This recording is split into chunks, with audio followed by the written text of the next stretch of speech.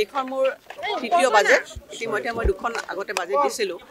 এই বাজেটখন আচলতে আমি সামগ্ৰিকভাৱে আমাৰ যিবিলাক গোটেই আৰ্থসামাজিক দিশ সেইখিনি ওপৰত লক্ষ্য ৰাখি এই বাজেটখন আমি যিমানখিনি পাৰোঁ আমি তৈয়াৰ কৰিছোঁ।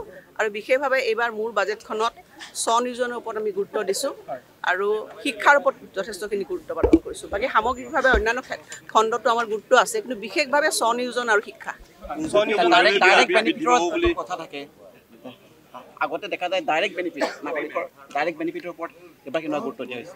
চাওক আচলতে ডাইৰেক্ট বেনিফিট মানে আচলতে আমাৰ যিটো দৰিদ্ৰতা নিবাৰণ সেইটোৰ ওপৰত আমি যোৱাবাৰ বাজেটটো গুৰুত্ব দিছোঁ আৰু এইবাৰ নিশ্চিতভাৱে তাত থাকিবই। মই সেইকাৰণে কৈছোঁ বিশেষভাৱে মোৰ বাজেটখনত তিনিটা আমি ক্ষেত্ৰত গুৰুত্ব প্ৰদান কৰিছোঁ। আমি নিবনুৱা সমস্যাৰ ওপৰত স্বনিয়োজনৰ ওপৰত বিশেষভাৱে গুৰুত্ব প্ৰদান কৰিছোঁ। শিক্ষাৰ ওপৰত আমি গুৰুত্ব প্ৰদান কৰিছোঁ আৰু দৰিদ্ৰতা দূৰীকৰণ। এই তিনিটা বিশেষভাৱে আমি লৈছোঁ আৰু সামগ্ৰিকভাৱে অসমৰ যিবিলাক আমি অৰ্থ সামাজিক দিশ সেইটোৰ ওপৰতো আমি গুৰুত্ব প্ৰদান কৰিছোঁ। মুখ্যমন্ত্ৰীগৰাকীয়ে কৈছে ঐতিহাসিক বাজেট হ'ব। সেই ক্ষেত্ৰত আহ, আপোনাক কিছু সময় অপেক্ষা কৰক।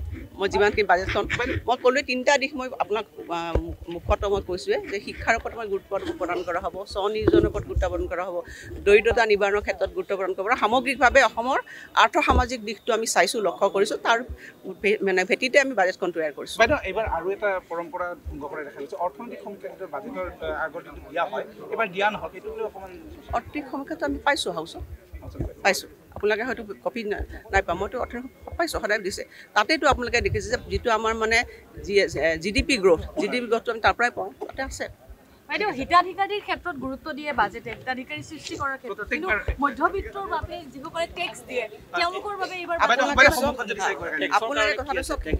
মই এইটোৱে কওঁ মই যোৱাবাৰ সামগ্ৰিকভাৱে কৈছিলোঁ যে আচলতে যিসকল দৰিদ্ৰ সীমাৰেখাৰ তলৰ ব্যক্তিসকল আছে সেইসকলক যদি আমি দৰিদ্ৰ সীমাৰেখাৰ ওপৰলৈ আনিব লাগে কিছু আমাক আঁচনি তৈয়াৰ কৰিব লাগে। আৰু এনেকুৱা আমি অৰুণোদয় তেনে এখন আঁচনি যিখন আঁচনি আপোনালোকে দেখিছে অসমৰ যিসকল দৰিদ্ৰ মহিলা আছে সেইসকলক আজি তেওঁলোকক যদি দৰিদ্ৰতাৰ পৰা আগুৱাই লৈ যাব লাগে সেই আঁচনিখন আমি ইমান সুন্দৰভাৱে আমি তৈয়াৰ কৰিছোঁ যে আপোনালোকে দেখিছে মানে ডাইৰেক্ট বেংক ট্ৰান্সফাৰ।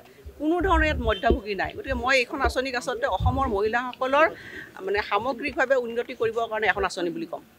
মহিলাৰ কাৰণে বিশেষ কি পাব চব মহিলাসকল চব মই নিজে এগৰাকী মহিলা। গতিকে মই যিমান পাৰোঁ চেষ্টা কৰিছোঁ যে মোৰ বাজেটখনত সকলো শ্ৰেণীৰ মানুহক প্ৰতিফলিত কৰিবৰ কাৰণে। এইখন মোৰ তৃতীয় বাজেট। ইতিমধ্যে মই দুখন আগতে বাজেট দিছিলোঁ। এই বাজেটখন আচলতে আমি সামগ্ৰিকভাৱে আমাৰ যিবিলাক গোটেই আৰ্থসামাজিক দিশ সেইখিনি ওপৰত লক্ষ্য ৰাখি এই বাজেটখন আমি যিমানখিনি পাৰোঁ আমি তৈয়াৰ কৰিছোঁ। আৰু বিশেষভাৱে এইবাৰ মোৰ বাজেটখনত স্বনিয়োজনৰ ওপৰত আমি গুৰুত্ব দিছোঁ আৰু শিক্ষাৰ ওপৰত যথেষ্টখিনি গুৰুত্ব প্ৰদান কৰিছোঁ। বাকী সামগ্ৰিকভাৱে অন্যান্য খণ্ডতো আমাৰ গুৰুত্ব আছে কিন্তু বিশেষভাৱে স্বনিয়োজন আৰু শিক্ষা। কথা থাকে। আগতে দেখা যায় ডাইৰেক্ট বেনিফিট নাগৰিকৰ ডাইৰেক্ট বেনিফিটৰ ওপৰত কিবা কিবা গুৰুত্ব দিয়া হৈছে। চাওক আচলতে ডাইৰেক্ট বেনিফিট মানে আচলতে আমাৰ যিটো দৰিদ্ৰতা নিবাৰণ সেইটোৰ ওপৰত আমি যোৱাবাৰ বাজেটটো গুৰুত্ব দিছোঁ আৰু এইবাৰ নিশ্চিতভাৱে তাত থাকিবই। মই সেইকাৰণে কৈছোঁ বিশেষভাৱে মোৰ বাজেটখনত তিনিটা আমি ক্ষেত্ৰত গুৰুত্ব প্ৰদান কৰিছোঁ। আমি নিবনুৱা সমস্যাৰ ওপৰত স্বনিয়োজনৰ ওপৰত বিশেষভাৱে গুৰুত্ব প্ৰদান কৰিছোঁ।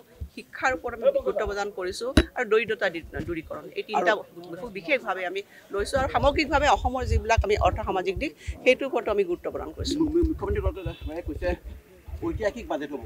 সেই ক্ষেত্ৰত আহ, আপোনাক কিছু সময় অপেক্ষা কৰক মই যিমানখিনি বাজেটখন মই ক'লোৱে তিনিটা দিশ মই আপোনাক মুখত মই কৈছোঁৱে যে শিক্ষাৰ ওপৰত মই গুৰুত্ব প্ৰদান কৰা হ'ব স্বনিয়োজনৰ ওপৰত গুৰুত্ব প্ৰদান কৰা হ'ব দৰিদ্ৰতা নিবাৰণৰ ক্ষেত্ৰত গুৰুত্ব প্ৰদান কৰিব আৰু সামগ্ৰিকভাৱে অসমৰ আৰ্থ সামাজিক দিশটো আমি চাইছোঁ লক্ষ্য কৰিছোঁ তাৰ মানে ভেটিতে আমি বাজেটখন তৈয়াৰ কৰিছোঁ। বাইদেউ এইবাৰ আৰু এটা পৰম্পৰা ভংগ কৰা দেখা গৈছে অৰ্থনৈতিক সংক্ৰান্ত বাজেটৰ আহ, আগত যিটো দিয়া হয় এইবাৰ দিয়া নহ'ল সেইটো লৈ অকণমান অৰ্থনৈতিক সমীক্ষাটো আমি পাইছোঁ হাউচত। পাইছোঁ। আপোনালোকে হয়তো কপি নাই পোৱা। মইতো অৰ্থনৈতিক পাইছোঁ সদায় দিছে। তাতেইতো আপোনালোকে দেখিছে যে যিটো আমাৰ মানে G G D P growth G D P গ্ৰ'থটো আমি তাৰ পৰাই পাওঁ তাতে আছে। বাইদেউ হিতাধিকাৰীৰ ক্ষেত্ৰত গুৰুত্ব দিয়ে বাজেটে হিতাধিকাৰী সৃষ্টি কৰাৰ ক্ষেত্ৰত। কিন্তু মধ্যবিত্তৰ বাবে যিসকলে টেক্স দিয়ে।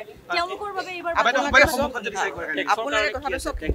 মই এইটোৱে কওঁ মই যোৱাবাৰ সামগ্ৰিকভাৱে কৈছিলোঁ যে আচলতে যিসকল দৰিদ্ৰ সীমাৰেখাৰ তলৰ ব্যক্তিসকল আছে সেইসকলক যদি আমি দৰিদ্ৰ সীমাৰেখাৰ ওপৰলৈ আনিব লাগে কিছু আমাক আঁচনি তৈয়াৰ কৰিব লাগে। আৰু এনেকুৱা আমি অৰুণোদয় তেনে এখন আঁচনি যিখন আঁচনি আপোনালোকে দেখিছে অসমৰ যিসকল দৰিদ্ৰ মহিলা আছে সেইসকলক আজি তেওঁলোকক যদি দৰিদ্ৰতাৰ পৰা আগুৱাই লৈ যাব লাগে সেই আঁচনিখন আমি ইমান সুন্দৰভাৱে আমি তৈয়াৰ কৰিছোঁ যে আপোনালোকে দেখিছে মানে ডাইৰেক্ট বেংক ট্ৰান্সফাৰ। কোনো ধৰণৰ ইয়াত মধ্যভোগী নাই। গতিকে মই এইখন আঁচনিক আচলতে অসমৰ মহিলাসকলৰ মানে সামগ্ৰিকভাৱে উন্নতি কৰিবৰ কাৰণে এখন আঁচনি বুলি ক'ম। মহিলাৰ কাৰণে বিশেষ কি পাব কি চ' মহিলাসকল চ' মই নিজে এগৰাকী মহিলা গতিকে মই যিমান পাৰোঁ চেষ্টা কৰিছোঁ যে মোৰ বাজেটখনত সকলো শ্ৰেণীৰ মানুহক প্ৰতিফলিত কৰিবৰ কাৰণে।